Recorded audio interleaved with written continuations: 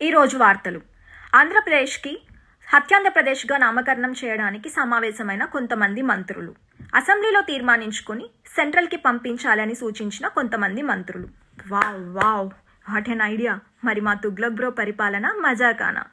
అసలుకి ఆంధ్రప్రదేశ్ రాష్ట్రంలోని న్యూస్ పేపర్స్లో బిజినెస్కి పాలిటిక్స్కి స్పోర్ట్స్కి ఎలా అయితే సపరేట్ పేజెస్ ఉంటాయో అలా రేప్ కేసెస్కి కూడా సపరేట్ పేజెస్ పెట్టారంట. వావ్! ఇంతకంటే ఏం చెప్పాలి? ఆంధ్రప్రదేశ్ రాష్ట్రం అభివృద్ధిలో ఏ రేంజ్లో ఉందో. ఓకే. ఆంధ్రప్రదేశ్ రాష్ట్రంలోని నేటి అత్యాచార వార్తలు చూద్దాం. విజయనగరం ఉడా కాలనీలో ఇరవై ఐదు సంవత్సరాల మహిళ పైన ఇద్దరు వ్యక్తులు రేప్ చేశారు.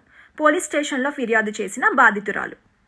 పల్నాడు జిల్లా క్రోసూరు మండలం పెరికెపాడులో మద్యమత్తులో బాలిక పైన అత్యాచార ప్రయత్నం జరిగింది. కేకలు వేయడంతో పరారైన నిందితుడు. ఫిర్యాదు చేసిన తల్లిదండ్రులు.